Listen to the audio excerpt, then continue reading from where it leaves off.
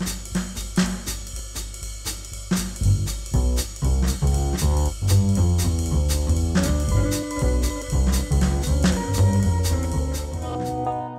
¿qué tal? Bienvenidos, bienvenidas y bienvenides a este su espacio.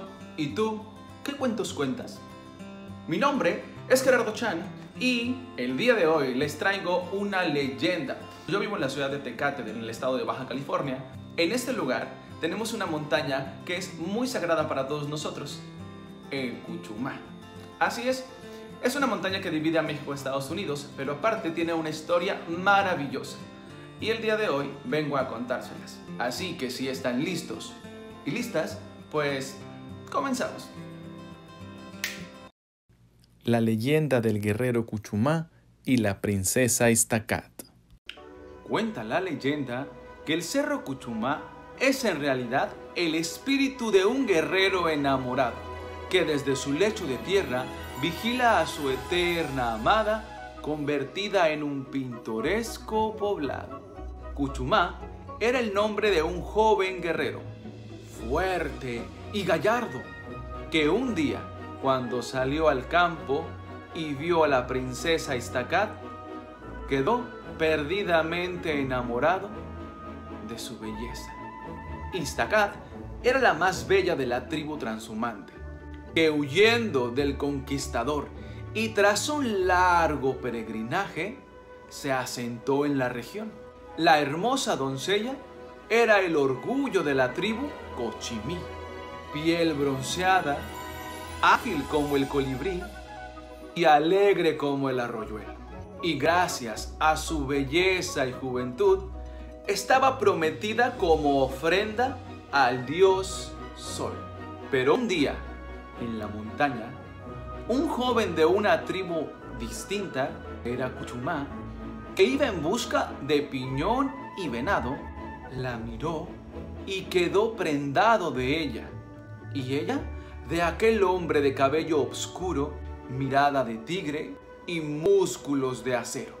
Todos somos como hermanos, pero a ti te está prohibido acercarte a la princesa Istacat, que es la joya más preciada de la gran raza Corcuar. Le advirtió el gran sacerdote de la tribu de la doncella. Pero la inquietud que la bella joven causó en el guerrero lo hizo desobedecer las órdenes del gran sacerdote Cochimí. En un arrebato de amor y tras días de buscar la oportunidad de hablarle, le envió un recado de amor atado a la punta de una de sus flechas.